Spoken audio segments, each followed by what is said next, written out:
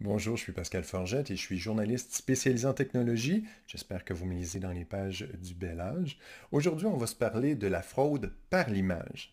Qu'est-ce que c'est la fraude par l'image? Ben, c'est quand on vous montre une photo qui a été truquée ou une vidéo qui a été truquée ou encore une vidéo ou une photo qui vous est présentée hors contexte dans le but de vous mélanger et de vous frauder éventuellement. On va donner deux exemples. Premier exemple classique, c'est une photo d'un éléphant qui aide un lionceau à traverser une rue. C'est tellement mignon, on a envie de le partager tout de suite, de dire c'est merveilleux la nature, mais non, cette photo-là est un faux. Ça a été fait rapidement, en quelques minutes, avec un logiciel de montage de type Photoshop. On a pris une photo d'un éléphant, on a mis dessus une photo d'un lion, on a mis le lionceau dans la trompe de l'éléphant, et voilà, on a un faux qui a fait beaucoup, beaucoup euh, de, clics de par le monde. Beaucoup de gens l'ont partagé. Pourtant, cette photo-là, si on fait une recherche rapide sur Internet, ben, on se rend compte qu'elle a été publiée le 1er avril 2018. C'était une photo pour vous faire rire, pour vous surprendre. C'était un poisson d'avril. C'était pas vrai.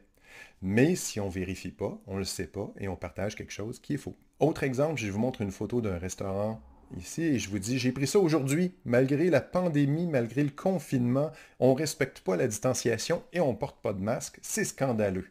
Vous allez peut-être réagir et vous allez dire, oh, c'est épouvantable cette affaire-là, et vous avez raison. Mais cette photo-là, évidemment, n'a pas été prise pendant la pandémie, elle a été prise bien avant, et en vous la présentant comme prise pendant la pandémie, ben, ça fait réagir différemment. Vous dites peut-être que c'est pas bien ben grave de cliquer, puis de liker, de partager ces photos-là. Moi, je vous dis que c'est important d'y réfléchir parce que ça peut être utilisé pour vous manipuler et même vous frauder. Par exemple, il y a plusieurs artistes québécois, dont Véronique Cloutier, qui ont vu leur image utilisée en photo et en vidéo pour faire la promotion de produits, alors qu'ils n'avaient rien à voir avec les produits.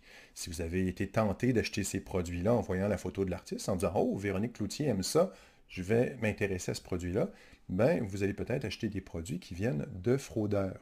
Et si la technologie permet de modifier facilement des photos et des vidéos, vous n'avez rien vu. Il y a une technologie qui s'appelle les hypertrucages ou les deepfakes qui permettent de transformer une image pour faire dire n'importe quoi à n'importe qui en vidéo. On regarde une vidéo ici de Barack Obama qui semble dire des choses étranges. President Trump is a total and complete dipshit. Et on se rend compte que ce n'est pas du tout Barack Obama qui dit ça, c'est un comédien qui dit quelque chose. Et avec l'informatique, on le transforme en Barack Obama. Et là, on transforme sa voix, on transforme son image. C'est pas parfait, euh, mais c'était pas une vidéo qui était faite pour vous tromper, c'était une vidéo pour vous sensibiliser justement au risque de l'hypertrucage des deepfakes. Ces hypertrucages-là sont faits avec des technologies qui sont accessibles à tous et la technologie pour les faire s'améliore de jour en jour. Donc, il faut être plus vigilant que jamais sur la source des images qu'on consulte et sur la véracité des images qu'on va voir sur Internet. Il y a quelques trucs pour se protéger de la fraude par l'image. Premièrement, on est toujours méfiant quand on voit quelque chose sur le web, spécialement si c'est trop beau pour être vrai ou si ça dit quelque chose qui est particulièrement étrange. Une façon de détecter les photos fausses, c'est la recherche par photo de Google au lieu de chercher avec des mots, on cherche avec une photo. On peut glisser la photo du lionceau, par exemple, et voir que c'est une photo fausse. On peut voir comment elle a été faite, pourquoi elle a été faite, et surtout à quel moment elle a été créée. Donc ça permet de voir si la photo est utilisée euh, pour un bon usage.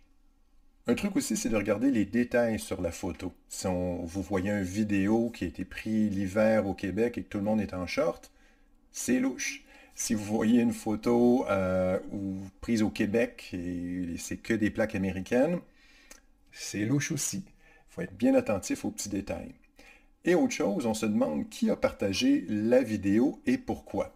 Si c'est pour vous faire réagir, si c'est pour vous faire cliquer ou vous faire acheter quelque chose, c'est peut-être pas nécessairement la vérité qui vous est présentée. Un autre bon exemple, j'aime beaucoup une publicité du journal Le Guardian qui présente quelqu'un qui semble agresser quelqu'un d'autre, mais si on regarde la scène en entier, on se rend compte que la personne voulait aider quelqu'un de quelque chose qui allait lui tomber sur la tête. C'est important de regarder le contexte en entier quand on analyse une image, la source, le pourquoi, le qui, et ça évite de se faire tromper par les images sur Internet et les réseaux sociaux.